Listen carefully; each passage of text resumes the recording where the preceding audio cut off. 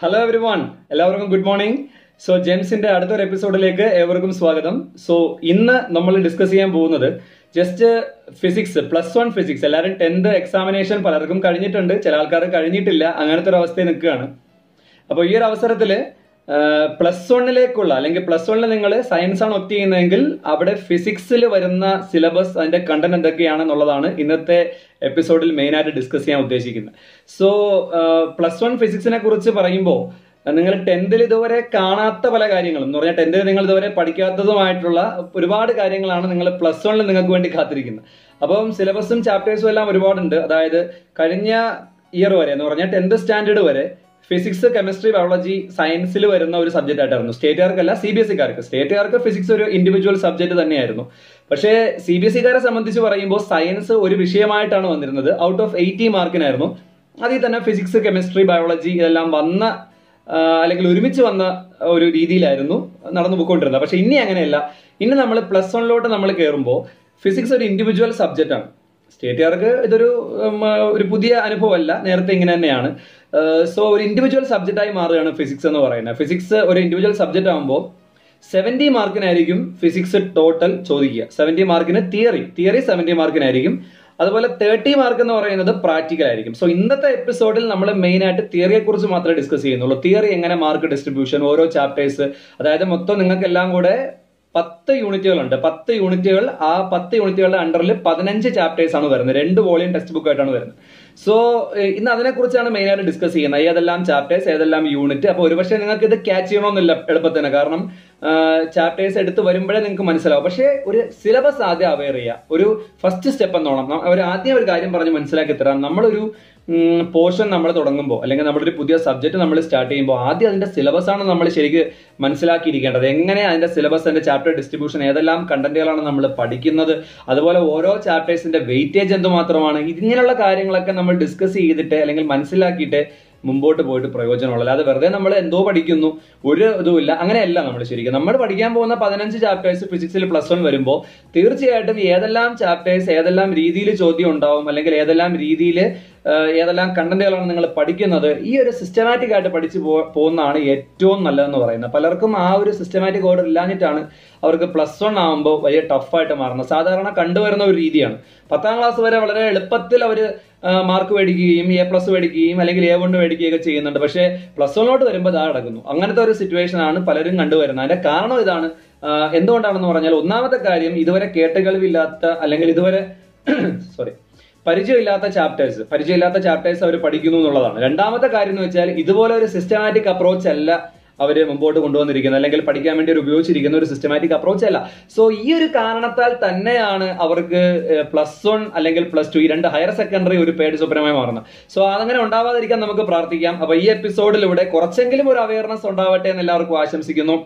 അതിന് മുമ്പായി നമുക്ക് വീഡിയോയിലേക്ക് കടക്കാം അതിന് മുമ്പായി ഈ ചാനൽ ഇതുവരെ സബ്സ്ക്രൈബ് ചെയ്യാത്ത ആരെങ്കിലും ഉണ്ടെങ്കിൽ സബ്സ്ക്രൈബ് ചെയ്യുക അതുപോലെ ലൈക്ക് ചെയ്യുക ഷെയർ ചെയ്യുക ഓക്കെ സപ്പോർട്ട് ചെയ്യുക maximum so welcome to my video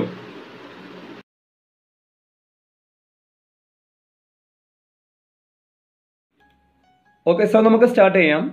so ആദ്യം നമുക്ക് ഓരോ യൂണിറ്റുകളും അതിൻ്റെ ബേസിൽ വരുന്ന ചാപ്റ്റേഴ്സിനെയും പരിചയപ്പെടാം സോ ടോട്ടൽ നമുക്ക് പത്ത് യൂണിറ്റ്സുകളുണ്ട് അതിൽ ഒന്നാമത്തെ unit physical world and measurement ഈ ഒരു യൂണിറ്റിനകത്ത് രണ്ട് ചാപ്റ്റേഴ്സ് വരുന്നുണ്ട് first chapter physical world second chapter units and measurement അടുത്തത് സെക്കൻഡ് യൂണിറ്റ് ആണ് കൈനമാറ്റിക്സ് ഇതിനകത്തും രണ്ട് ചാപ്റ്റേഴ്സ് വരുന്നുണ്ട് third chapter motion in a straight line fourth chapter motion in a plane next unit three ആണ് ലോസ് ഓഫ് മോഷൻ ഇതിനകത്ത് ഒരൊറ്റ chapter മാത്രമേ വരുന്നുള്ളൂ chapter five laws of motion അടുത്തത് unit four work energy and power ഈ യൂണിറ്റിനകത്തും ഒറ്റ chapter മാത്രമേ ഉള്ളൂ chapter six work energy and power അടുത്തത് unit five motion of system of particles and rigid body ഇതിനകത്ത് ഒരു ചാപ്റ്റർ മാത്രമേ വരുന്നുള്ളൂ system of particles and rotational motion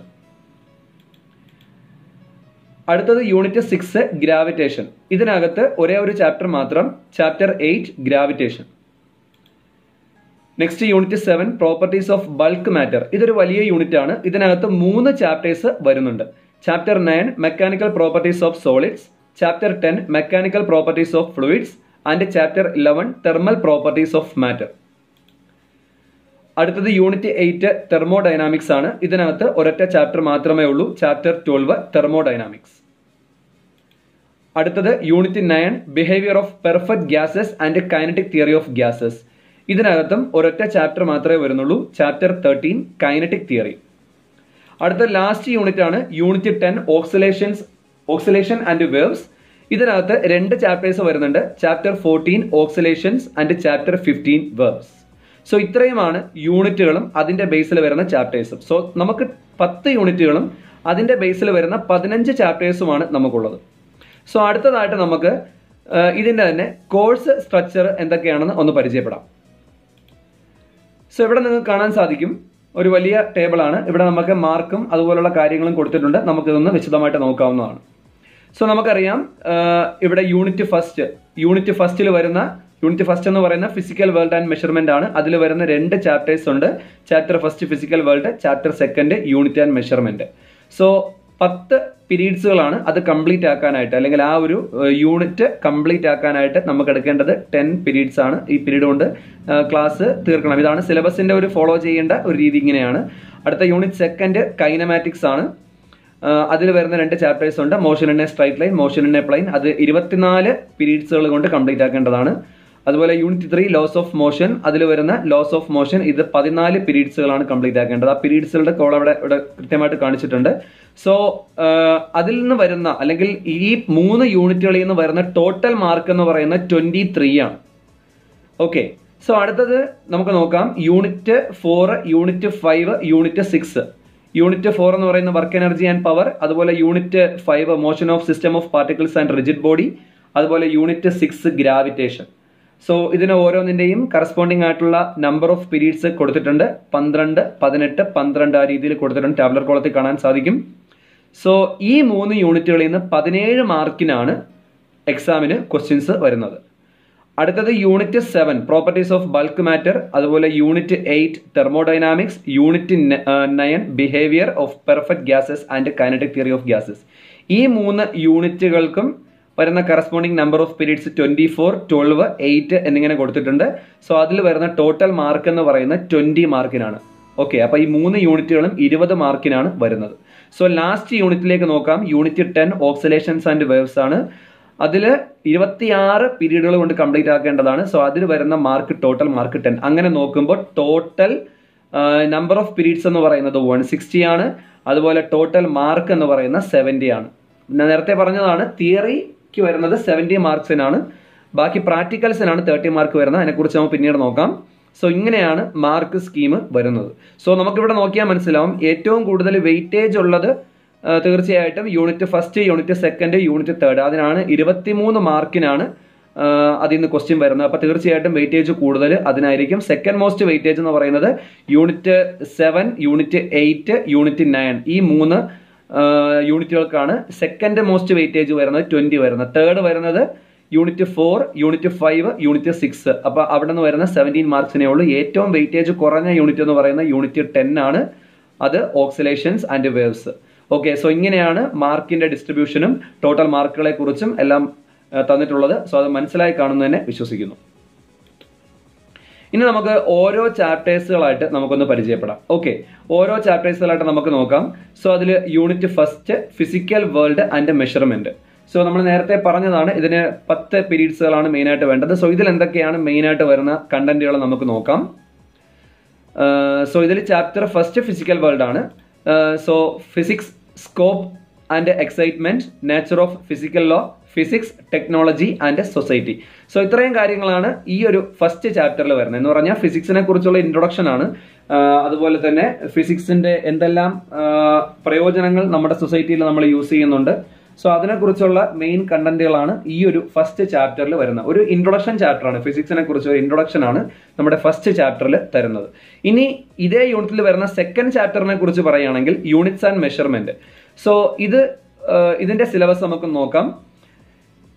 need of measurement units of measurement system of units S I units fundamental and derived units length mass and time measurement accuracy and precision of measuring instruments error in measurement significant figures dimensions of physical quantities dimensions sorry dimensional analysis and its application so ഇതിൽ മെയിനായിട്ട് നമ്മൾ പഠിച്ചിട്ടുള്ള S I യൂണിറ്റുകൾ അതുപോലെ measurement ടെക്നിക്സുകൾ അതുപോലെ fundamentals derived യൂണിറ്റ്സുകൾ എന്തൊക്കെയാണ് പ്രധാനമായിട്ടുള്ളത് അല്ലെങ്കിൽ ക്വാണ്ടിറ്റീസ് എന്തൊക്കെയാണ് അങ്ങനെയുള്ള ഓരോ കാര്യങ്ങളാണ് നമ്മൾ ഇത് ശരിക്കും സ്റ്റേറ്റ് പഠിച്ച ഒരു കുട്ടിയാണെന്നുണ്ടെങ്കിൽ അല്ലെങ്കിൽ syllabus state C B S E അല്ല സ്റ്റേറ്റ് പഠിച്ച ഒരു കുട്ടിയാണെങ്കിൽ എയ്ത്ത് സ്റ്റാൻഡേർഡിൽ സമാനമായിട്ടുള്ള ഒരു ചാപ്റ്റർ ഒരു മുമ്പ് പഠിച്ചിട്ടുണ്ട് അതിന്റെ ഒരു കണ്ടിന്യൂവേഷൻ തന്നെയാണ് ഇതെന്ന് പറയുന്നത് അപ്പൊ ഇതിൽ എക്സ്ട്രാ ആയിട്ട് വരുന്നത് സിഗ്നിഫിക്കന്റ് ഫിഗർ അതുപോലെ ഇറർ മുതലായ കാര്യങ്ങൾ നിങ്ങൾക്ക് ഇവിടെ കാണാൻ സാധിക്കും ഒന്ന് ഹൈലൈറ്റ് ചെയ്ത് തരാം അതായത് ഇവിടെ കാണാം ഇറർ ആൻഡ് മെഷർമെന്റ് ഓക്കെ അതുപോലെ സിഗ്നിഫിക്കൻറ്റ് ഫിഗേഴ്സ് ഇതൊക്കെ നിങ്ങൾ പഠിക്കുന്ന പുതിയ കുറച്ച് ടോപ്പിക്കുകളാണ് അതുപോലെ ഡയമെൻഷൻസ് ഓഫ് ഫിസിക്കൽ ക്വാണ്ടിറ്റീസ് ഓരോ ഫിസിക്കൽ ക്വാണ്ടിറ്റീസിൻ്റെയും ഡയമെൻഷൻസ് ഡയമെൻഷൻസ് എന്തൊക്കെയാണെന്ന് പഠിക്കും അങ്ങനെയുള്ള കാര്യങ്ങളൊക്കെയാണ് നമ്മൾ മെയിനായിട്ട് യൂണിറ്റ്സ് ആൻഡ് മെഷർമെന്റ് ശരിക്കും മുമ്പ് കേട്ട ചാപ്റ്റർ ആണെങ്കിൽ കൂടെയും കുറച്ചുകൂടെ എക്സ്ട്രാ കുറച്ചുകൂടെ എക്സ്ട്രാ കണ്ടന്റുകൾ ഇതിൽ അഡ്വാൻസ് ആയിട്ട് ആഡ് ചെയ്യുന്നുണ്ട് സോ ഇത്രയുമാണ് ഈ ചാപ്റ്റേഴ്സ് അതായത് സെക്കൻഡ് ചാപ്റ്റർ യൂണിറ്റ് ആൻഡ് മെഷർമെന്റ്സിനെ കുറിച്ച് പറയാനുള്ളത് സോ ഈ രണ്ട് ചാപ്റ്റേഴ്സ് അതായത് യൂണിറ്റ് ഫസ്റ്റിൽ വരുന്ന ഈ രണ്ട് ചാപ്റ്റേഴ്സിന് ടെൻ പീരീഡ്സ് നേരത്തെ പറഞ്ഞതാണ് അത്രയും കൊണ്ടാണ് കംപ്ലീറ്റ് ആക്കാനുള്ളത് ഓക്കെ സോ നമുക്ക് അടുത്ത സെക്കൻഡ് യൂണിറ്റിലേക്ക് പോവാം സെക്കൻഡ് യൂണിറ്റ് കൈനമാറ്റിക്സ് ആണ് അതിന് ഇരുപത്തിനാല് പീരീഡുകൾ കൊണ്ടാണ് കംപ്ലീറ്റ് ആക്കേണ്ടത് നമുക്കറിയാം സോ അതിൽ chapter third motion in a straight line so അതിൽ വരുന്ന കണ്ടന്റുകൾ എന്തൊക്കെയാണെന്ന് നമുക്ക് നോക്കാം frame of reference motion in a straight line position time graph speed and velocity elementary concept of differentiation and integration for describing motion uniform and non uniform motion average speed and instantaneous velocity uniformly accelerated motion velocity time and position time graph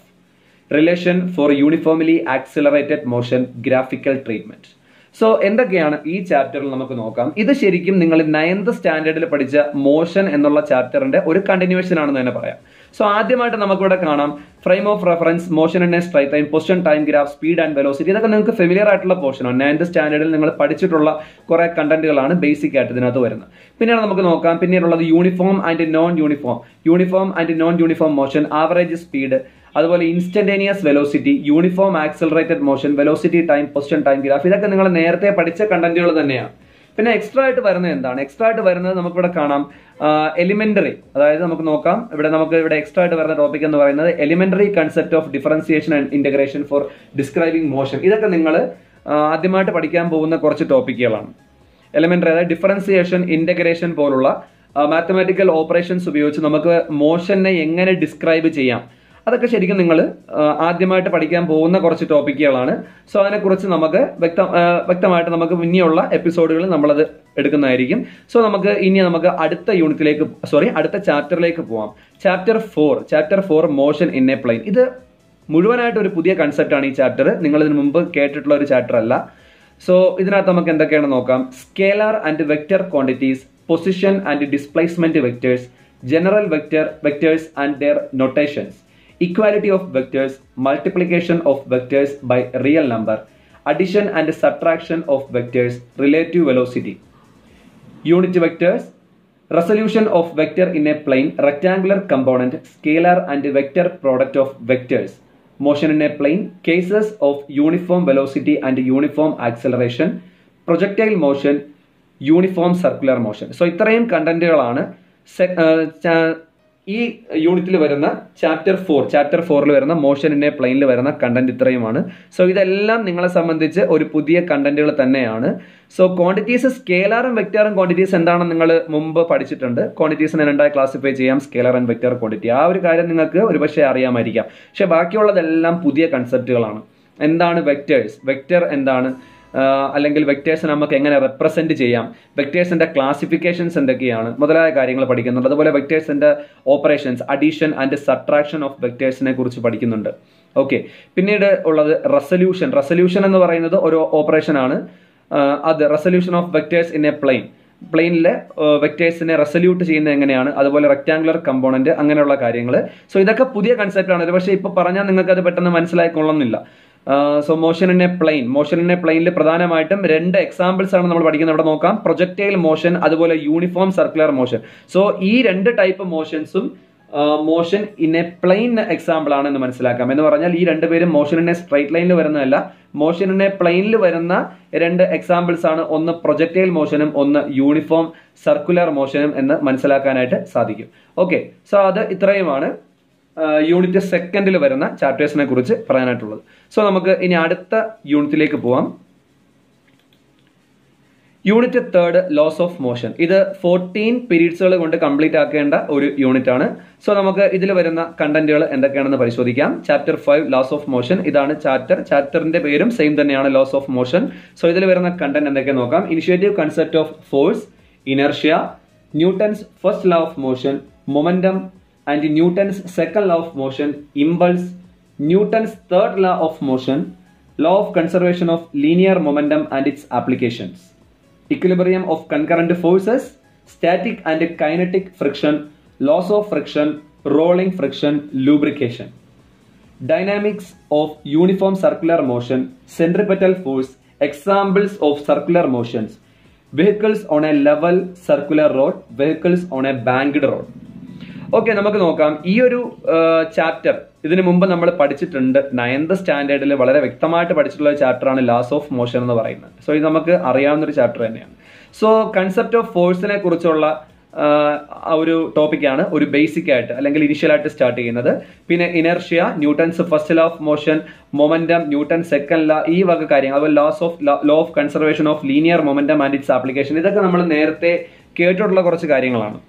ഇതൊക്കെ നേരത്തെ പഠിച്ചിട്ട് ninth സ്റ്റാൻഡേർഡിൽ പഠിച്ചിട്ടുള്ള basic ആയിട്ടുള്ള കാര്യങ്ങൾ തന്നെയാണ് വീണ്ടും repeat ചെയ്യുന്നത് പിന്നെ കൺകറന്റ് ഫോഴ്സ് എന്താണെന്നുള്ളത് ഒരു പുതിയ ടോപ്പിക്കായിട്ട് നമ്മൾ ഈ വർഷം പഠിക്കുന്നുണ്ട്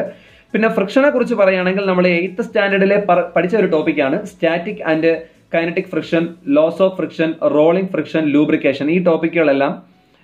വളരെ വ്യക്തമായിട്ട് നമ്മൾ എയ്ത്ത് സ്റ്റാൻഡേർഡിൽ പഠിച്ചിട്ടുണ്ട് ഫ്രിക്ഷൻ എന്താണ്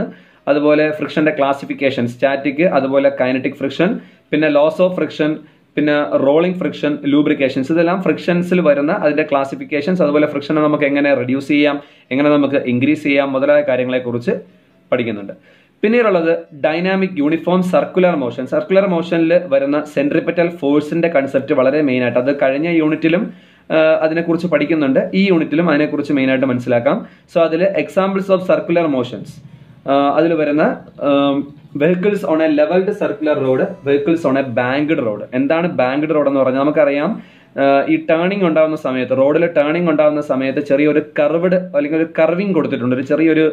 പ്രൊജക്ഷൻ ഔട്ടർ എഡ്ജിൽ നമുക്ക് കാണാൻ സാധിക്കും അതിനെയാണ് ബാങ്ക്ഡ് റോഡ് എന്ന് പറയുന്നത് സോ ഈ ബാങ്ക്ഡ് റോഡും അൺബാങ്ക്ഡ് റോഡും തമ്മിൽ എന്തൊക്കെയാണ് വ്യത്യാസം അല്ലെങ്കിൽ അവിടെ എങ്ങനെയാണ് വാഹനങ്ങൾക്ക് പോകാനായിട്ട് അല്ലെങ്കിൽ വാഹനങ്ങളുടെ സ്പീഡിന് എങ്ങനെ വ്യത്യാസങ്ങൾ ഉണ്ടാവും മുതലായ കാര്യങ്ങളൊക്കെ നമ്മൾ ആ ഒരു കേസിൽ പഠിക്കുന്നതാണ് അതൊരു വലിയ ഡെറിവേഷനാണ് സോ ഇത്രയുമാണ് യൂണിറ്റ് തേർഡിൽ വരുന്ന ചാപ്റ്റർ ഫൈവ് അതിനെക്കുറിച്ചുള്ള കൺസെപ്റ്റുകളും കാര്യങ്ങളും ഇത് പതിനാല് പീരീഡുകൾ കൊണ്ട് കംപ്ലീറ്റ് ആക്കേണ്ട ഒരു യൂണിറ്റാണ് സോ നമുക്ക് അടുത്ത യൂണിറ്റിലേക്ക് പോവാം സോ അടുത്തത് unit four work energy and power ഇത് പന്ത്രണ്ട് പീരീഡ്സുകൾ കൊണ്ട് കംപ്ലീറ്റ് ആക്കേണ്ട ഒരു ചാപ്റ്റർ ആണ് അല്ലെങ്കിൽ ഒരു യൂണിറ്റ് ആണ് സോ ഇതിൽ ആകെ ഒരൊറ്റ ചാപ്റ്റർ മാത്രമേ വരുന്നുള്ളൂ chapter six work energy and power so ഇതിന്റെ കൺസെപ്റ്റുകൾ എന്തൊക്കെയാണ് നമുക്ക് നോക്കാം work done by a constant force and a variable force kinetic energy work energy theorem power protection of potential energy potential energy of a spring conservative force conservation of mechanical energy kinetic and potential energies non conservative forces motion in a vertical circle elastic and inelastic collision in one and two dimensions ശരിക്കും പറഞ്ഞാൽ നയന്തിൽ പഠിച്ച മിക്കുള്ള chapter നമുക്ക് ഇവിടെ തന്നെ അതിൻ്റെ അതേ chapter അതേ പേരിൽ തന്നെ നമുക്ക് കാണാനായിട്ട് സാധിക്കും സോ ഇവിടെ വരുന്ന മെയിൻ ആയിട്ടുള്ള കണ്ടന്റുകൾ എന്തൊക്കെയാണെന്ന് നമുക്കൊന്ന് പരിശോധിക്കാം അതായത് work done by a constant force and variable force ശരിക്കും work work is set to be done under the satisfaction of two condition ഇത് നയൻത് സ്റ്റാൻഡേർഡിൽ പഠിച്ചതാണ് such as force and displacement force and ഡിസ്പ്ലേസ്മെന്റും ഈ രണ്ട് കണ്ടീഷൻസിൽ മാത്രമേ നമുക്ക് വർക്ക് ഡൺ അല്ലെങ്കിൽ വർക്ക് ശരിക്കും ഉണ്ടായി എന്ന് പറയാനായിട്ട് സാധിക്കത്തുള്ളൂ സോ കോൺസ്റ്റന്റ് ഫോഴ്സിലും വേരിയബിൾ ഫോഴ്സിലും ഉണ്ടാവുന്ന വർക്കിന്റെ വ്യത്യാസം അല്ലെങ്കിൽ വർക്കിന് ഉണ്ടാവുന്ന ആ ഒരു ചേഞ്ച് എന്തൊക്കെയാണെന്ന് ആദ്യം പഠിക്കുന്നുണ്ട് ഫോഴ്സ് നമുക്ക് വേണമെങ്കിൽ കോൺസ്റ്റന്റ് എമൗണ്ടിൽ കൊടുക്കാം അല്ലെങ്കിൽ വേരിയബിൾ എമൗണ്ടിൽ കൊടുക്കാം സോ അന്നേരം ഉണ്ടാവുന്ന വർക്കിന്റെ വ്യത്യാസം അതിനെക്കുറിച്ച് പഠിക്കാം പിന്നീട് കൈനറ്റിക് എനർജി നമുക്കറിയാം പഠിച്ചിട്ടുള്ളതാണ് അതുപോലെ വർക്ക് എനർജി തിയറം അതായത് എനർജിയും വർക്കും തമ്മിലുള്ള ആ ഒരു റിലേഷനാണ് മെയിനായിട്ട് അതിൽ സൂചിപ്പിക്കുന്നത് പിന്നെ പവർ എന്താണെന്ന് നമുക്കറിയാം സോ പിന്നീട് പഠിക്കുന്നത് പൊട്ടൻഷ്യൽ എനർജി എന്താണെന്ന് നമ്മൾ നേരത്തെ പഠിച്ചിട്ടുണ്ട് കൈനറ്റിക് എനർജിയും പൊട്ടൻഷ്യൽ എനർജിയും നേരത്തെ പഠിച്ച ടോപ്പിക്കാണ് പക്ഷേ potential energy of a spring നമ്മൾ പഠിച്ചിട്ടില്ല സോ അതൊരു പുതിയ കണ്ടന്റ് ആയിട്ട് ഈ ഇയറിൽ പഠിക്കുന്നതായിരിക്കും പിന്നീട് കൺസർവേറ്റീവ് ഫോഴ്സ് ഇതൊക്കെ പുതിയ കണ്ടന്റുകളാണ് കൺസർവേറ്റീവ് ഫോഴ്സ് അങ്ങനെയുള്ള ടോപ്പിക്കുകളെല്ലാം തീർച്ചയായിട്ടും പുതിയ കണ്ടന്റുകൾ തന്നെയാണ് അതുപോലെ തന്നെ നോൺ കൺസർവേറ്റീവ് ഫോഴ്സ് അപ്പോൾ ഇവിടെ മുതൽ പുതിയ കണ്ടന്റുകൾ സ്റ്റാർട്ട് ചെയ്യുകയാണ് കൺസർവേറ്റീവ് നോൺ കൺസർവേറ്റീവ് ഫോഴ്സസ് അതുപോലെ motion of vertical circle elastic and inelastic collision in one and two dimension so ഈ റെഡിൽ മാർക്ക് ചെയ്തേക്കുന്ന ടോപ്പിക്കുകളെല്ലാം നിങ്ങൾ പുതിയതായിട്ട് പഠിക്കാൻ പോകുന്ന ടോപ്പിക്കുകളാണ് ഇവിടെ കുറച്ച് ടോപ്പിക്ക് ഫ്രണ്ടിൽ ഹൈലൈറ്റ് ചെയ്യാൻ മറന്നുപോയിട്ടുണ്ട് conservative force so conservative force conservation of mechanical energy മുതലായ ടോപ്പിക്കുകൾ അതായത് റെഡിൽ മാർക്ക് ചെയ്തേക്കുന്ന ടോപ്പിക്കുകളെല്ലാം നിങ്ങൾ പുതിയതായിട്ട് പഠിക്കാൻ പോകുന്ന ടോപ്പിക്കുകളാണ് ഓക്കെ സോ uh, അങ്ങനെ കുറച്ച് മാറ്റങ്ങൾ തീർച്ചയായിട്ടും പ്ലസ് വൺ ഒരു ഹയർ ക്ലാസ്സിലേക്ക് നിങ്ങൾ മാറുമ്പോൾ തീർച്ചയായിട്ടും ബേസിക് അല്ല പിന്നീട് അത് അഡ്വാൻസ് ആയിട്ട് തന്നെ മാറിക്കൊണ്ടിരിക്കും അപ്പോൾ തീർച്ചയായിട്ടും അതിന് വരുന്ന കണ്ടന്റുകൾക്ക് മാറ്റം ഉണ്ടാവും സോ നമുക്ക് അടുത്ത യൂണിറ്റിലേക്ക് പോവാം അടുത്ത unit unit five motion of system of particles and rigid body ഇത് നിങ്ങൾക്ക് ഇതുവരെ പരിചയമല്ലാത്ത ഒരു പുതിയ യൂണിറ്റ് ആണ് ഇതിന് എയ്റ്റീൻ പീരീഡുകൾ കൊണ്ടാണ് കംപ്ലീറ്റ് ആക്കേണ്ടത് സോ ഇതിൽ വരുന്ന കണ്ടന്റുകൾ നമുക്ക് നോക്കാം ആദ്യമായി chapter seven system of particles and rotational motion okay ഇതാണ് ചാപ്റ്ററിന്റെ പേര് സോ ഇതിൽ വരുന്ന കണ്ടന്റുകൾ നമുക്ക് നോക്കാം centre of mass of a two particle system momentum conservation and centre of mass motion centre of mass of a rigid body centre of mass of a uniform rod moment of a force torque angular momentum law of conservation of angular momentum and its applications equilibrium of rigid bodies rigid body rotation and equation equations of rotational motion comparison of linear and rotational motion moment of inertia radius of gyration values of moments of inertia for simple geometrical objects no derivation statement of parallel and perpendicular axis theorem and their application ശരിക്കും പറഞ്ഞാൽ ഇങ്ങനെ ഒരു chapter നിങ്ങൾ മുമ്പ് കേട്ട ഇല്ലാത്തൊരു ചാപ്റ്ററാണ് ഇങ്ങനെ ഒരു ചാപ്റ്റർ നിങ്ങൾ പഠിച്ചിട്ടേ ഇല്ല സോ ഇത് എൻ്റെ ഈ ഒരു ടോപ്പിക്ക് മുഴുവനായിട്ട് ഇതൊരു പുതിയ കണ്ടന്റ് ആണെന്ന് തന്നെ നമുക്ക് പറയാനായിട്ട് സാധിക്കും ഇത് ഫുൾ ഒരു പുതിയ കണ്ടന്റ് ആണ് നമ്മൾ പഠിക്കാൻ പോകുന്നത് ഫുൾ ഒരു പുതിയ ചാപ്റ്ററാണ് സോ തീർച്ചയായിട്ടും ഇതിൽ വരുന്ന കണ്ടന്റുകൾ എന്തൊക്കെയാണെന്ന് ഒന്ന് ഒന്ന് ചുരുക്കി പറഞ്ഞു തരാനായിട്ട് ഞാൻ ശ്രമിക്കാം അതായത് മെയിനായിട്ട് നമുക്ക് മുമ്പ് കേട്ടിട്ട് പരിചയമില്ലാത്ത കുറച്ച് കാര്യങ്ങളാണ് എന്തിൽ തന്നെയും ഞാൻ അത് പറഞ്ഞ് മനസ്സിലാക്കാനായിട്ട് ശ്രമിക്കാവുന്നതാണ് ഓക്കെ അതായത് മെയിനായിട്ട് നമുക്ക് അറിയാം ഏതൊരു ബോഡി എടുത്താലും അല്ലെങ്കിൽ ഏതൊരു വസ്തു എടുത്താലും അതിന് അതിൻ്റെതായ സെൻറ്റർ ഓഫ് മാസ് അല്ലെങ്കിൽ മാസ് കോൺസെൻട്രേറ്റ് ചെയ്യുന്ന ഒരു പോയിന്റ് ഉണ്ടാവും സോ അതിനെയാണ് നമ്മൾ സെൻറ്റർ ഓഫ് മാസ് എന്ന് പറയുന്നത് അപ്പോൾ അത് റിജിഡ് ബോഡി ഒരു റിജിഡ് ബോഡി റിജിഡ് എന്ന് പറയുമ്പോൾ അത് റിജിഡ് ബോഡി എന്താണെന്ന് നിങ്ങൾക്ക് വളരെ വ്യക്തമായിട്ട് അറിയാം സോ റിജിഡ് ബോഡിയുടെ സെൻറ്റർ ഓഫ് മാസ് അതിനെക്കുറിച്ച് പഠിക്കുന്നുണ്ട് അതുപോലെ സെന്റർ ഓഫ് മാസ് ഒരു യൂണിഫോം റോഡ് അങ്ങനെ പല ബോഡിയുടെയും സെന്റർ ഓഫ് മാസിനെ കുറിച്ച് പിന്നീട് moment of force torque angular momentum ഇവിടെ കാണാം അതായത് ഈ ഒരു ടോപ്പിക് എന്ന് പറയുന്നത് നമ്മൾ ശരിക്കും തീർച്ചയായിട്ടും ഇവിടെ നമ്മൾ കൺസിഡർ ചെയ്യുന്നത് ലീനിയർ മൊമെന്റമാണ് നമ്മൾ മുമ്പത്തെ ചാപ്റ്ററെല്ലാം പഠിച്ചെങ്കിൽ ഇവിടെ പഠിക്കുന്നത് ആംഗുലർ മൊമെന്റമാണ് ആംഗുലർ മൊമെന്റം എന്ന് പറയുമ്പോൾ തീർച്ചയായിട്ടും അത് റൊട്ടേഷണൽ മോഷനുമായിട്ട് ബന്ധപ്പെട്ട കാര്യങ്ങളാണ് ഓക്കെ സോ അങ്ങനത്തുള്ള കാര്യങ്ങളാണ് ഇതിൽ മെയിനായിട്ട് നമ്മൾ ഡിസ്കസ് ചെയ്യുന്നത് ഇത് ഒരു പുതിയ ചാപ്റ്റർ തന്നെയാണ് അപ്പോൾ ഇതിന്റെ പല കൺസെപ്റ്റുകളും ഒരുപക്ഷെ ഇപ്പോൾ പറഞ്ഞാൽ നിങ്ങൾക്ക് മനസ്സിലാവണമെന്നില്ല എങ്കിലും ബേസിക് ആയിട്ട് നമ്മൾ ടോർക്ക് ആംഗുലർ മൊമെന്റം മുതലായ കാര്യങ്ങളെക്കുറിച്ച് നമ്മൾ ഈ ചാപ്റ്ററിൽ മെയിനായിട്ട് പ്രതിപാദിക്കുന്നുണ്ട് പിന്നീട് moment of inertia moment of inertia എന്താണ് റേഡിയസ് ഓഫ് ഗൈറേഷൻ മുതലായ കാര്യങ്ങൾ അത് കറക്റ്റായിട്ട് ഇപ്പൊ പറഞ്ഞു കഴിഞ്ഞാൽ എന്താണെന്ന് നിങ്ങൾക്ക് ഒരുപക്ഷെ ഉൾക്കൊള്ളണമെന്നില്ല സോ അത് നമുക്ക് വരുന്ന എപ്പിസോഡുകളിൽ തീർച്ചയായിട്ടും അത്തരം ചാപ്റ്റേഴ്സ് നമ്മൾ ഡിസ്കസ് ചെയ്യുന്നതായിരിക്കും ഓക്കെ സോ ഇത്രയുമാണ് യൂണിറ്റ് ഫൈവിൽ വരുന്ന motion of system of particles and rigid ബോഡിയിൽ വരുന്ന എയ്റ്റീൻ പീരീഡ്സുകൾ കൊണ്ടാണ് ഈ ഒരു യൂണിറ്റ് കംപ്ലീറ്റ് ആക്കേണ്ടത് ഓക്കെ സോ നെക്സ്റ്റ് യൂണിറ്റിലേക്ക് പോവാം next unit unit unit six gravitation പന്ത്രണ്ട് പീരീഡ് കൊണ്ട് കംപ്ലീറ്റ് ആക്കേണ്ട ഒരു ചാപ്റ്റർ ആണ് അല്ലെങ്കിൽ ഒരു യൂണിറ്റ് ആണ് chapter eight gravitation so Kepler's laws of planetary motion universal law of gravitation acceleration due to gravity and its variation with altitude and depth gravitational potential energy and gravitational potential escape velocity orbital velocity of satellite geostationary satellites ഇത്രയും കാര്യങ്ങളാണ് chapter എയ്റ്റിൽ വരുന്ന gravitation അതിലെ main കണ്ടന്റുകളാണ് നമ്മൾ പറഞ്ഞത് so ഇത് നിങ്ങൾക്ക് കുറേ ടോപ്പിക്കുകളൊക്കെ നിങ്ങൾക്ക് സുപരിചിതമാണ് കാരണം നയൻത് സ്റ്റാൻഡേർഡിൽ നിങ്ങൾ നേരത്തെ പഠിച്ച കുറച്ച് ടോപ്പിക്കുകളാണ് Kepler's law of motion laws of planetary motion universal law of gravitation അതുപോലെ ആക്സലേഷൻ ഡ്യൂ ടു ഗ്രാവിറ്റി ഇത്രയും ടോപ്പിക്കുകൾ നിങ്ങൾ നയൻത് സ്റ്റാൻഡേർഡിൽ നേരത്തെ പഠിച്ചിട്ടുള്ള കുറച്ച് കണ്ടന്റുകളാണ് പക്ഷേ ഇവിടെ വരുന്ന കുറച്ച് അഡ്വാൻസ്ഡ് ടോപ്പിക് എന്ന് പറയുന്നത് variation with altitude and depth അതായത് ആൾട്ടിറ്റ്യൂഡ് എന്ന് പറഞ്ഞാൽ ഹൈറ്റ് ഡെപ്ത് എന്ന് പറഞ്ഞാൽ ആഴം ഈ രണ്ട് സാഹചര്യത്തിൽ ആക്സലേഷൻ ഡ്യൂ ടു ഗ്രാവിറ്റി എങ്ങനെ മാറുന്നു അല്ലെങ്കിൽ എങ്ങനെ ചേഞ്ച് ആവുന്നു എന്നതിനെക്കുറിച്ച് പുതിയതായിട്ട് നമ്മൾ പഠിക്കാൻ പോകുന്നതാണ് പിന്നീട് ഗ്രാവിറ്റേഷണൽ പൊട്ടൻഷ്യൽ എനർജി നമുക്കറിയാം പൊട്ടൻഷ്യൽ എനർജി ഉണ്ടാവുന്നതിന് രണ്ട് റീസൺ ഉണ്ട് ഒന്ന് ഹൈറ്റ് ആണ് രണ്ട് സ്ട്രെയിൻ ആണ് അപ്പോൾ ഗ്രാവിറ്റേഷണൽ പൊട്ടൻഷ്യൽ എനർജി തീർച്ചയായിട്ടും ഹൈറ്റ് മൂലം ഉണ്ടാവുന്ന പൊട്ടൻഷ്യൽ എനർജി തന്നെയാണ് പിന്നെ ഗ്രാവിറ്റേഷണൽ പൊട്ടൻഷ്യൽ അതിനെക്കുറിച്ച് നമ്മൾ എക്സ്ട്രാ പഠിക്കുന്നുണ്ട് പിന്നെ escape velocity orbital velocity of satellite geostationary satellite ഈ ടോപ്പിക്കുകളൊക്കെ നിങ്ങൾ പുതിയതായിട്ട് പഠിക്കാൻ പോകുന്ന കുറച്ച് ടോപ്പിക്കുകളാണ് അത് ഗ്രാവിറ്റേഷൻ എന്നുള്ളതിൽ വരുന്ന എക്സ്ട്രാ കുറച്ച് ടോപ്പിക്കുകളാണ് ഫുള്ള് ഡെറിവേഷൻ ആണ് ഈ ചാപ്റ്ററിന്റെ ഒരു പ്രത്യേകത എന്ന് പറയുന്നത് ഫുള്ള് ഡെറിവേഷൻസ് ആണ് ഈ ചാപ്റ്ററിനകത്ത് മെയിനായിട്ട് വരുന്നത് ഓക്കെ സോ ഇത്രയുമാണ് യൂണിറ്റ് സിക്സ് ഗ്രാവിറ്റേഷനെ കുറിച്ച് പറയാനായിട്ടുള്ളത് സോ നമുക്ക് അടുത്ത യൂണിറ്റിലേക്ക് പോവാം സോ യൂണിറ്റ് സെവൻ ഇവിടെ ഫോണ്ട് ഇത്ര ചെറുതായിട്ടുണ്ട് കാരണം ഇതിനകത്ത് വരുന്ന മൂന്ന് ചാപ്റ്റേഴ്സുകളുണ്ട് നമുക്കറിയാം പ്രോപ്പർട്ടീസ് ഓഫ് ബൾക്ക് മാറ്റർ അതാണ് ഈ യൂണിറ്റിന്റെ പേര് ഇത് ട്വന്റി ഫോർ പീരീഡ് ഇരുപത്തിനാല് പീരീഡ്സുകളുണ്ട് കംപ്ലീറ്റ് ആക്കേണ്ട ഒരു യൂണിറ്റ് ആണ് സോ ഇത് നമുക്ക് ഇതിനകത്ത് വരുന്ന ചാപ്റ്റർ നയൻ അതായത് ഇതിനകത്ത് വരുന്ന first chapter mechanical properties of solid അതിന്റെ കണ്ടന്റ് എന്തൊക്കെയാണ് നമുക്ക് നോക്കാം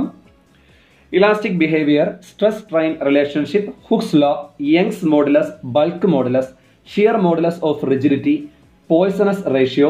elastic energy so ഇത്രയും കണ്ടന്റുകളാണ് ചാപ്റ്റർ നയനിൽ വരുന്ന മെക്കാനിക്കൽ പ്രോപ്പർട്ടീസ് ഓഫ് സോളിഡിൽ ഉള്ളത് സോ ഈ ഒരു ടോപ്പിക്ക് ശരിക്കും നിങ്ങളെ സംബന്ധിച്ച് എല്ലാം മൊത്തത്തിൽ ഒരു പുതിയ കണ്ടന്റ് തന്നെയായിരിക്കും നിങ്ങൾക്ക് സുപരിചിതമല്ലാത്ത ഒരു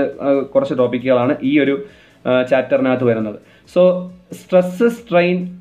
relationship Hooke's law ഇതൊക്കെയാണ് നമ്മുടെ ഈ ചാപ്റ്ററിലെ മെയിൻ ബേസിക് എന്ന് പറയുന്നത് യങ്സ് മോഡലസ് അങ്ങനെ വരുന്ന കാര്യങ്ങൾ അതായത് ഇലാസ്റ്റിക് ബിഹേവിയർ നമുക്കറിയാം സോളിഡിന്റെ മെക്കാനിക്കൽ പ്രോപ്പർട്ടീസ് ആണ് സോളിഡ് എന്ന് പറയുമ്പോൾ അതിന് ഇലാസ്റ്റിക് പ്രോപ്പർട്ടി ഉണ്ടാവും ഇലാസ്റ്റിക് എന്ന് പറഞ്ഞാൽ can regain to its original shape അതിനെ തിരിച്ച് അതിന്റെ പഴയ ഷേപ്പിലേക്ക് വരാൻ സാധിക്കുന്ന ഒരു കഴിവിനെയാണ് നമ്മൾ ഇലാസ്റ്റിക് ബിഹേവിയർ എന്ന് പറയുന്നത് സോ അതാണ് നമ്മൾ മെയിനായിട്ട് ഈ ചാപ്റ്റർ അപ്പോൾ അതൊക്കെ മെക്കാനിക്കൽ പ്രോപ്പർട്ടീസിൽ വരുന്ന കൺസെപ്റ്റുകളാണ്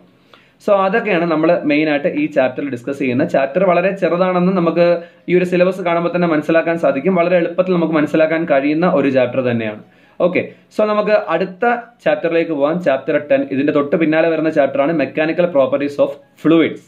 so നമുക്കറിയാം സോളിഡ് ആണ് നമ്മൾ ആദ്യം പഠിച്ചത് ഇപ്പൊ ഫ്ലൂയിഡ് ആണ് അപ്പൊ ഫ്ലൂയിഡിനകത്ത് ആരൊക്കെയാണ് വരുന്നത് ഫ്ലൂയിഡിനകത്ത് വരുന്നത് ലിക്വിഡും ഗ്യാസുമാണ് അപ്പൊ സോളിഡിനെ കുറിച്ചും ലിക്വിഡിനെ കുറിച്ചും ഗ്യാസിനെ കുറിച്ചും അതിന് മൂന്ന് പേരുടെയും മെക്കാനിക്കൽ പ്രോപ്പർട്ടീസ് നമ്മൾ ശരിക്കും പഠിക്കുന്നുണ്ട്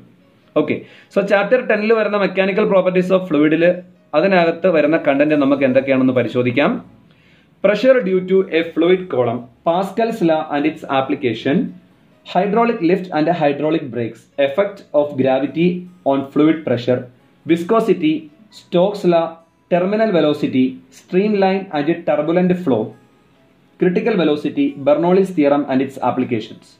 surface energy and surface tension angle of contact excess of pressure across a curved surface, application of surface tension ideas to drop bubbles and capillary rise. So ഈ ഒരു കണ്ടന്റുകൾ നമ്മൾ നോക്കുമ്പോൾ ഇതിൽ ചില കണ്ടന്റുകൾ നമുക്ക് എവിടെയൊക്കെയോ നമ്മൾ കേട്ട് മറന്ന ഒരു പ്രതീതി ഉണ്ടാവാം അതായത് നയൻത് സ്റ്റാൻഡേർഡിൽ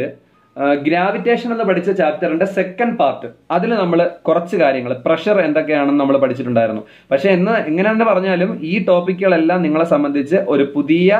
ടോപ്പിക്കുകൾ തന്നെയാണ് മുമ്പ് കേട്ട കേൾവി ഇല്ലാത്ത ടോപ്പിക്കുകൾ തന്നെയാണെന്ന് പറയാം പക്ഷെ ഇതിലെ കുറച്ച് കണ്ടന്റുകൾ നമുക്ക് സുപരിചിതമായിരിക്കാം ഒരു പക്ഷേ അതായത് പ്രഷർ എന്താണ് എന്താണ് പ്രഷർ പക്ഷെ ഇവിടെ പഠിക്കുന്നത് ഫ്ലൂയിഡ് കോളം ഫ്ലൂയിഡ് കോളത്തിൽ ഉണ്ടാവുന്ന പ്രഷർ അല്ലെങ്കിൽ അതുമൂലം ഉണ്ടാവുന്ന പ്രഷറിനെ കുറിച്ച് പിന്നീട് പാസ്കൽസ് ലാ ഇറ്റ്സ് ആപ്ലിക്കേഷൻ ഇത് തീർച്ചയായിട്ടും സ്റ്റേറ്റ് സിലബസിൽ പഠിച്ച ആൾക്കാരെ സംബന്ധിച്ച് ഇത് സുപരിചിതമായിരിക്കാം സ്റ്റേറ്റ് സിലബസിൽ അവർ നയൻത് സ്റ്റാൻഡേർഡിൽ പാസ്കൽസിലായും അതിന്റെ applications hydraulic lift hydraulic brakes കുറിച്ചെല്ലാം പഠിച്ചിട്ടുണ്ട് ഓക്കെ പിന്നീട് ഫ്ലൂയിഡ് പ്രഷർ എങ്ങനെ മാറുന്നു അതായത് ഗ്രാവിറ്റിക്ക് അനുസരിച്ച് ഗ്രാവിറ്റിക്ക് അനുസരിച്ച് ഫ്ലൂയിഡ് പ്രഷർ ഉണ്ടാകുന്ന മാറ്റം പിന്നീട് viscosity ninth standard state syllabus പഠിച്ച ആൾക്കാർ വിസ്കോസിറ്റി പഠിച്ചിട്ടുള്ള ടോപ്പിക്കാണ് പക്ഷേ സി ബി എസ് ഇക്കാർ ഇത് പഠിച്ചിട്ടില്ല സ്റ്റോക്സ് ലാ ടെർമിനൽ വെലോസിറ്റി ഈ ടോപ്പിക്കുകളെല്ലാം പുതിയ കണ്ടന്റുകളാണ് തീർച്ചയായിട്ടും പിന്നീട് സ്ട്രീം ലൈൻ ടർബുലന്റ് ഫ്ലോ ഇത് ഒന്നും നിങ്ങൾ നേരത്തെ കേട്ട് കേൾവില്ലാത്ത ടോപ്പിക്കുകളാണ് ഇതെല്ലാം പുതിയ ടോപ്പിക്കുകളാണ് critical velocity Bernoulli's theorem and its application ഈ ചാപ്റ്ററിൽ വരുന്ന ഏറ്റവും പ്രധാനപ്പെട്ട ഒരു തിയറമാണ് പക്ഷേ ഇത് നിങ്ങൾ മുമ്പ് പഠിച്ചിട്ടില്ല ഇതെല്ലാം പുതിയ കൺസെപ്റ്റുകളാണ് surface energy and surface tension sorry ഈ ഒരു കണ്ടന്റ് നിങ്ങൾ പഠിച്ചിട്ടുണ്ട് നയൻത് സ്റ്റാൻഡേർഡുകാർ അതായത് നയൻത് സ്റ്റേറ്റുകാർ മാത്രം സി ബി എസ് സിക്കാരെ e കാര്യം ഞാൻ പറയുന്നില്ല പഠിച്ചിട്ടില്ല സ്റ്റേറ്റുകാർ സർഫസ് എനർജി പഠിച്ചിട്ടുണ്ട് അതുപോലെ സർഫസ് ടെൻഷൻ പഠിച്ചിട്ടുണ്ട് ആംഗിൾ ഓഫ് കോണ്ടാക്ട് പഠിച്ചിട്ടില്ല അത് പുതിയ ടോപ്പിക് തന്നെയാണ് ആംഗിൾ ഓഫ് കോണ്ടാക്ട് അങ്ങനെയുള്ള ടോപ്പിക്കുകൾ പഠിച്ചിട്ടില്ല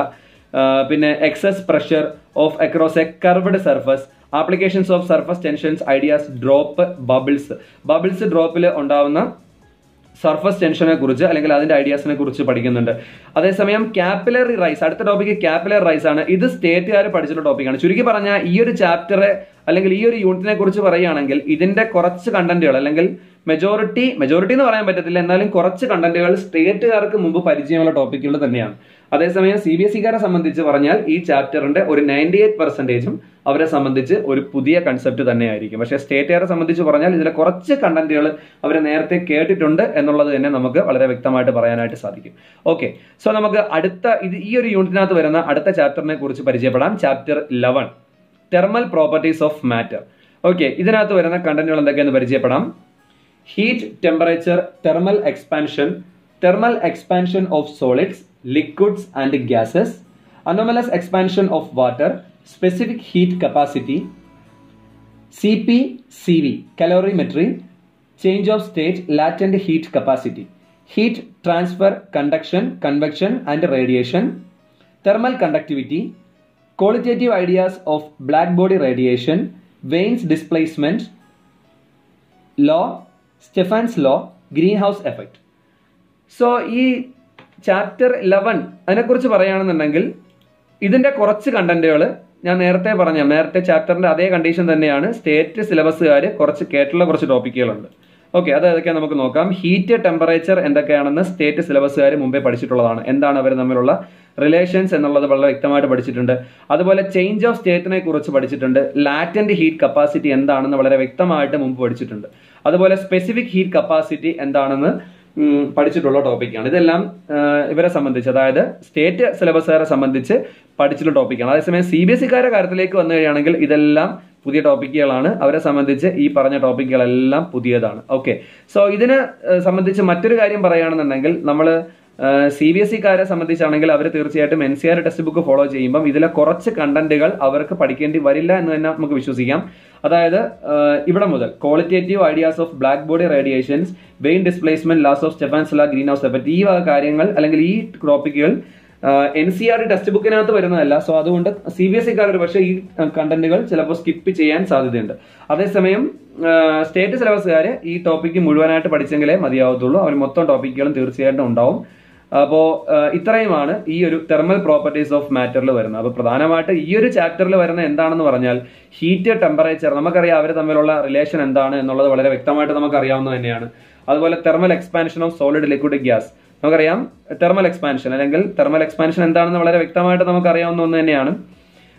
ഹീറ്റ് മുഖേന ഉണ്ടാവുന്ന അല്ലെങ്കിൽ ടെമ്പറേച്ചർ മുഖേന ഉണ്ടാവുന്ന എക്സ്പാൻഷൻ വളരെ വ്യക്തമായിട്ട് അറിയാവുന്ന തന്നെയാണ് സോളിഡ് ലിക്വിഡ് ഗ്യാസ് പിന്നെ അതുപോലെ വാട്ടറിന്റെ എക്സ്പാൻഷൻ അനോമലസ് എക്സ്പാൻഷനെ കുറിച്ച് പഠിക്കുന്നത് അതെല്ലാം പുതിയ കൺസെപ്റ്റ് ആണ് ഇപ്പോൾ പറഞ്ഞാൽ ഒരു പക്ഷേ മനസ്സിലാവണമെന്നില്ല സ്പെസിഫിക് ഹീറ്റ് കപ്പാസിറ്റി നേരത്തെ പഠിച്ചതാണ് സി പി സി വി എന്ന് പറയുന്നത് specific heat capacity at constant pressure C V എന്ന് പറയുന്ന specific heat capacity at constant volume അതൊക്കെ നമ്മൾ ഈ ഇയറിൽ നമ്മൾ വളരെ വ്യക്തമായിട്ട് മനസ്സിലാക്കുന്നതായിരിക്കും ലാറ്റിന്റെ ഹീറ്റ് കപ്പാസിറ്റി അല്ലെങ്കിൽ ലാറ്റിന്റെ ഹീറ്റ് എന്താണെന്ന് വളരെ വ്യക്തമായിട്ട് സ്റ്റേറ്റ് സിലബസുകാർക്ക് മനസ്സിലായിട്ടുണ്ടാവും പക്ഷെ സി ബി എസ് സിക്കാരെ e സംബന്ധിച്ച് പുതിയ കണ്ടന്റ് തന്നെയായിരിക്കാം അല്ല പക്ഷേ സി ബി എസ് സിക്കാരെ e പഠിച്ചിട്ടുണ്ട് സോറി കേട്ടോ ലാറ്റിന്റെ ഹീറ്റ് കപ്പാസിറ്റി എന്നുള്ളത് സി ബി എസ് ഇക്കാരൻ നയൻത് സ്റ്റാൻഡേർഡിൽ പഠിച്ചിട്ടുള്ളതാണ് കെമിസ്ട്രിയിൽ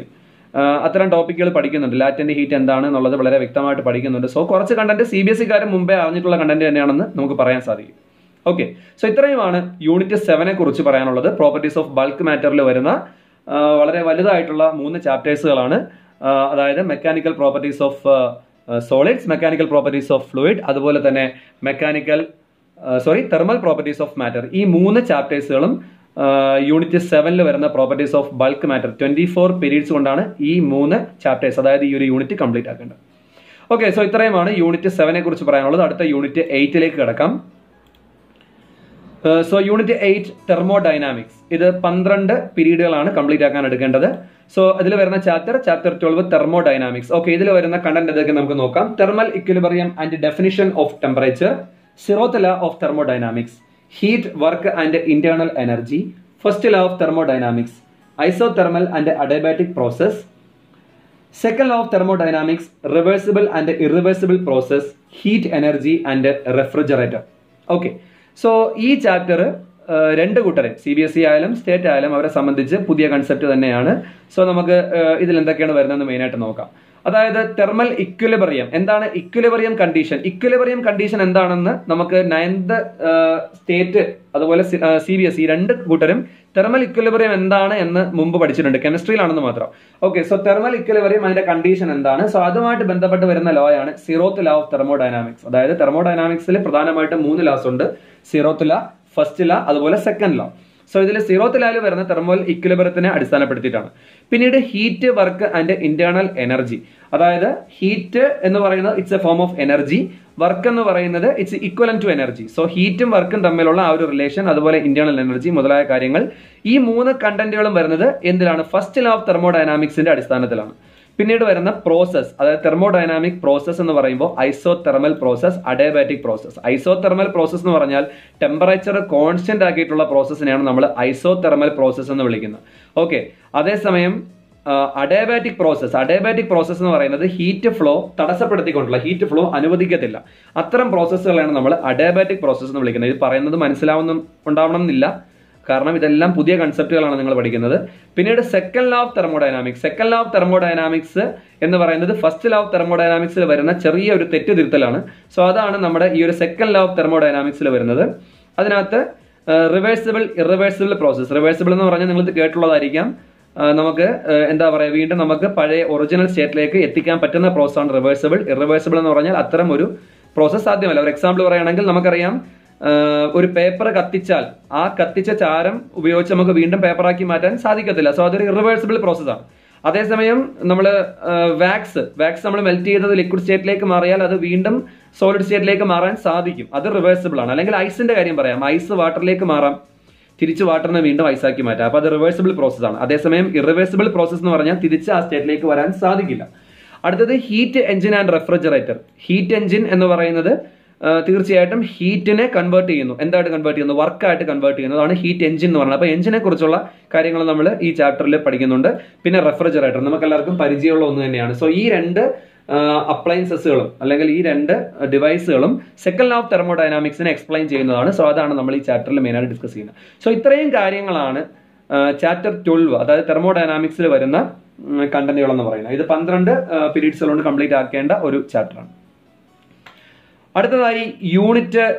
nine behaviour of perfect gases and kinetic theory of gases ഇത് എട്ട് പീരീഡ് മാത്രം കൊണ്ട് കംപ്ലീറ്റ് ആക്കേണ്ട ഒരു യൂണിറ്റ് ആണ് സോ ഇതിൽ വരുന്ന ആകെ ഒരൊറ്റ ചാപ്റ്റർ മാത്രമേ ഉള്ളൂ chapter thirteen kinetic theory okay so chapter thirteen kinetic theory എന്നുള്ള കണ്ടന്റ് എന്തൊക്കെ നമുക്ക് നോക്കാം equation of state of a perfect gas work done in compressing a gas kinetic theory of gases assumptions concept of pressure kinetic interpretation of temperature, RMS speed of gas molecules, degree of freedom, law of equipartition of energy statement ഉള്ളി and application of sorry application to specific heat capacities of gases concept of mean free path Avogadro's number okay so ഇത് നമ്മൾ പഠിച്ചിട്ടുള്ള കെമിസ്ട്രിയിലാണ് tenth കാരെ സംബന്ധിച്ച് പറയുകയാണെങ്കിൽ tenth സ്റ്റേറ്റുകാരെ സംബന്ധിച്ച് പറയുകയാണെന്നുണ്ടെങ്കിൽ അവർ കേട്ട കുറേ കണ്ടന്റുകൾ ഇതിനകത്തുണ്ട് നമുക്ക് നോക്കാം അതായത് ഇവർ കേട്ട കണ്ടന്റുകൾ ഏതൊക്കെയാണ് നമുക്ക് ആദ്യം ഒന്ന് പരിചയപ്പെടാം ഓക്കെ അതായത് നമ്മൾ തീർച്ചയായിട്ടും ഇതിനകത്ത് പഠിച്ചിട്ടുള്ള അവഗാട്രോസ് നമ്പർ അവഗാട്രോസ് നമ്പർ ഇങ്ങനെയുള്ള ടോപ്പിക്കുകളാണ് നമ്മൾ നേരത്തെ പഠിച്ചിട്ടുള്ള കാര്യങ്ങളാണ് പിന്നെ അതുപോലെ തന്നെ വേറെന്താ ഉള്ളത് വേറെ ഒന്നും ഈ ചാപ്റ്ററിൽ നേരത്തെ കേട്ട അല്ലെങ്കിൽ ഈ ചാപ്റ്റർ മുമ്പേ കേട്ട കണ്ടന്റുകളല്ല എല്ലാം പുതിയ കണ്ടന്റുകൾ തന്നെയാണ് പക്ഷേ ഇത് കെമിസ്ട്രി ആയിട്ട് റിലേറ്റ് ചെയ്ത ഒരു ചാപ്റ്റർ ആണ് എങ്കിലും ഇത് ഫിസിക്സിലാണ് ഇപ്പോൾ വന്നിരിക്കുന്നത് അപ്പോൾ ഇതിൽ മെയിനായിട്ട് നമ്മുടെ kinetic theory of gas kinetic theory of gas എന്ന് പറയുമ്പോൾ തീർച്ചയായിട്ടും ഗ്യാസുകൾക്ക് ഗ്യാസുകളെ സംബന്ധിച്ച് പറഞ്ഞാൽ അല്ലെങ്കിൽ ഗ്യാസ് മോളിക്യൂൾസിനെ സംബന്ധിച്ച് പറഞ്ഞാൽ നമുക്കറിയാം കൈനറ്റിക് കൈനറ്റിക് എനർജി ഏറ്റവും കൂടിയ ഒന്നാണ് ഗ്യാസ് എന്ന് പറയുന്നത് അല്ലെങ്കിൽ ഗ്യാസിന്റെ മോളിക്യൂൾസിന് അത്രയും ഗ്യാസ് മോളിക്യൂൾസ് എന്ന് പറയുമ്പോൾ അത്രയും കൈനറ്റിക് എനർജി കൂടുതലായിരിക്കും സോ അതിന്റെ അസംഷൻസ് പിന്നെ അതുപോലെ പ്രഷർ പ്രഷർ കൺസെപ്റ്റ് എന്താണ് നമുക്കറിയാം തീർച്ചയായിട്ടും പ്രഷർ എന്താണെന്ന് നമുക്കറിയാം അതായത് നമ്മൾ ഗ്യാസ് ലിക്വിഡ് അല്ലെങ്കിൽ ഗ്യാസ് ലിക്വിഡിനെ കൂടെ ഒരുമിച്ച് വിളിക്കുന്ന പേര് ഫ്ലൂയിഡ് എന്നാണ് ഇത് തീർച്ചയായിട്ടും നമുക്ക് ഒരു വെസൽ അല്ലെങ്കിൽ ഒരു എന്താ പറയുക ഒരു പാത്രം അല്ലെങ്കിൽ ഒരു ബോട്ടിൽ ഉണ്ടെങ്കിൽ മാത്രമേ നമുക്ക് ഗ്യാസിനെ അല്ലെങ്കിൽ ലിക്വിഡിനെ നമുക്ക് സൂക്ഷിക്കാനായിട്ട് സാധിക്കത്തുള്ളൂ സോ അതിന്റെ പ്രഷർ അത് അതിന്റെ മോളിക്യൂൾസ് നമ്മുടെ ഈ പറഞ്ഞ ബോട്ടിലിൽ അല്ലെങ്കിൽ ഈ പറഞ്ഞ വെസലില് എന്ത് ചെയ്യുന്നു ഒരു പ്രഷർ എക്സേർട്ട് ചെയ്യുന്നുണ്ട് അപ്പോൾ അതിനെക്കുറിച്ച് നമ്മൾ ഇതിൽ പഠിക്കുന്നുണ്ട് പിന്നെ കൈനറ്റിക് ഇന്റർപ്രിട്ടേഷൻ ഓഫ് ടെമ്പറേച്ചർ ടെമ്പറേച്ചറുമായിട്ട് എന്താണ് ബന്ധം കൈനറ്റിക് എനർജിക്ക് എന്താണ് ആ റിലേഷൻ വരുന്നത് പിന്നെ R M S speed of gas molecules gas മോളിക്യൂൾസിന്റെ R M S സ്പീഡിനെ കുറിച്ച് പറയുന്നുണ്ട് പിന്നെ ഡിഗ്രി ഓഫ് ഫ്രീഡം ഇതൊക്കെ പുതിയ കൺസെപ്റ്റുകളാണ് ഒരുപക്ഷെ ഇപ്പൊ പറഞ്ഞാൽ മനസ്സിലാവില്ല സോ ഇത്തരത്തിൽ കുറച്ച് പുതിയ കൺസെപ്റ്റുകളാണ് ഈ ചാപ്റ്റർ ചാപ്റ്റർ ചെറുതാണ് പക്ഷെ എന്നാൽ തന്നെയും ഇതൊരു പുതിയ കൺസെപ്റ്റുകൾ തന്നെയാണ് സോ അതാണ് നമ്മൾ മെയിനായിട്ട് ഈ ചാപ്റ്ററിൽ ഡിസ്കസ് ചെയ്യുന്നത് chapter thirteen kinetic theory okay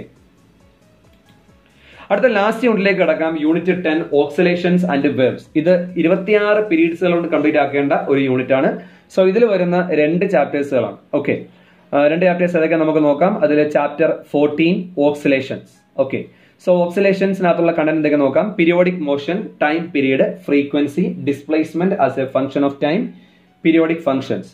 simple harmonic motion or S H M and its equation phase oscillations of a loaded spring restoring force and a force constant. Energy in simple harmonic motion, kinetic and potential energies, simple pendulum derivation of expression for its uh, time period, free, forced and damped oscillation,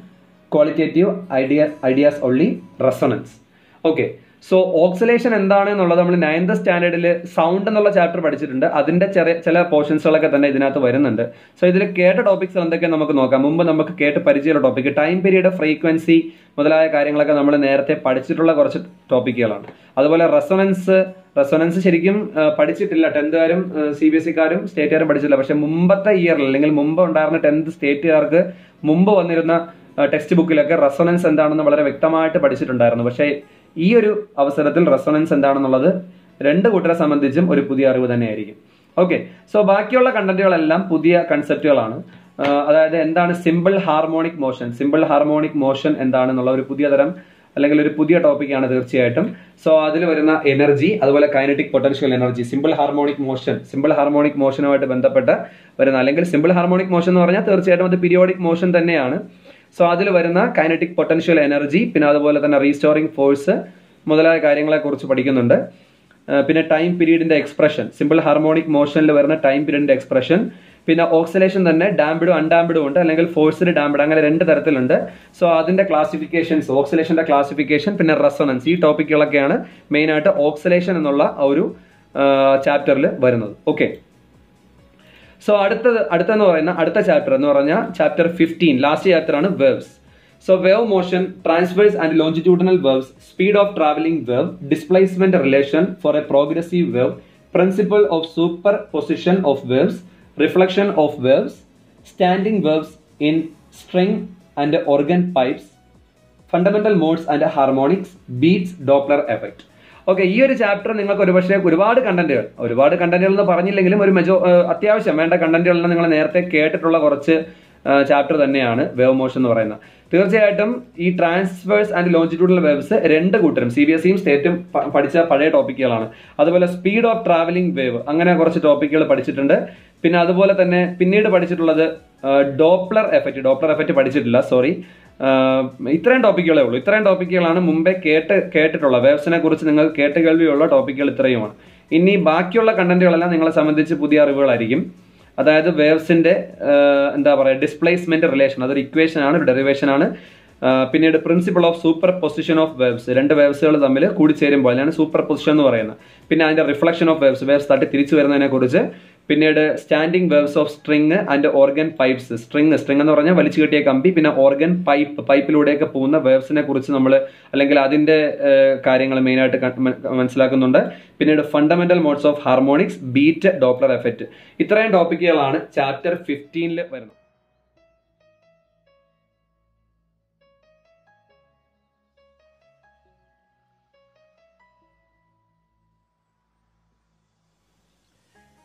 okay video കണ്ടിട്ട് നിങ്ങൾക്ക് മനസ്സിലായോ ഇല്ല എന്നുള്ള കാര്യത്തെക്കുറിച്ച് എനിക്ക് വ്യക്തമായിട്ടൊരു ധാരണയില്ല കാരണം ഒരുപക്ഷെ നിങ്ങൾ ഇങ്ങനെയുള്ള കാര്യങ്ങളെല്ലാം അല്ലെങ്കിൽ ചാപ്റ്റേഴ്സിനെ കുറിച്ച് അല്ലെങ്കിൽ ചാപ്റ്റേഴ്സ് യൂണിറ്റ്സ് ഇതൊക്കെ നിങ്ങൾക്ക് ഏകദേശം ഓർഡർ മനസ്സിലായിട്ടുണ്ട് പക്ഷെ കണ്ടന്റുകൾ പലതും നിങ്ങൾക്ക് അവെയർ ആയിട്ടില്ല എന്നുള്ള കാര്യം എനിക്ക് ഉറപ്പാണ് സോ അത് മനസ്സിലാക്കാം തീർച്ചയായിട്ടും ഇതിലൊന്നും നമ്മൾ വിഷമിക്കേണ്ട ആവശ്യമൊന്നുമില്ല കാരണം സിലബസ് എനിക്ക് മനസ്സിലായില്ല അല്ലെങ്കിൽ ക്യാച്ച് ചെയ്യാൻ കഴിഞ്ഞില്ല അങ്ങനെ ഓർത്ത് സങ്കടപ്പെടേണ്ട ആവശ്യമൊന്നുമില്ല തീർച്ചയായിട്ടും നിങ്ങൾക്ക് ഇനി വരുന്ന ക്ലാസ്സുകൾ അല്ലെങ്കിൽ വരുന്ന എപ്പിസോഡുകളിൽ തീർച്ചയായിട്ടും നമ്മൾ അത്തരത്തിലുള്ള ക്ലാസ്സുകൾ കൊണ്ടുവരുന്നതായിരിക്കും കഴിവിന്റെ പരമാവധി നമ്മൾ അത് എന്താ പറയുക ആപ്ലിക്കേഷൻ ലെവലായിട്ട് നമുക്ക് ഇപ്പോഴത്തെ എവിടെയെല്ലാം നമ്മൾ അപ്ലൈ ചെയ്യുന്നു നമ്മുടെ ഡെയിലി ലൈഫിൽ അങ്ങനെയുള്ള കാര്യങ്ങളെല്ലാം ചേർത്ത് തന്നെ ആയിരിക്കും വീഡിയോ ക്രിയേറ്റ് ചെയ്യുന്നത് അപ്പോൾ തീർച്ചയായിട്ടും മറക്കാതെ നിങ്ങൾ എൻ്റെ ചാനൽ സബ്സ്ക്രൈബ് ചെയ്യുക അതുപോലെ ലൈക്ക് ചെയ്യുക ഷെയർ ചെയ്യുക ഓക്കെ സോ താങ്ക് അടുത്ത എപ്പിസോഡിൽ കാണാവുന്നതാണ് അതുവരേക്കും ബൈ ബൈ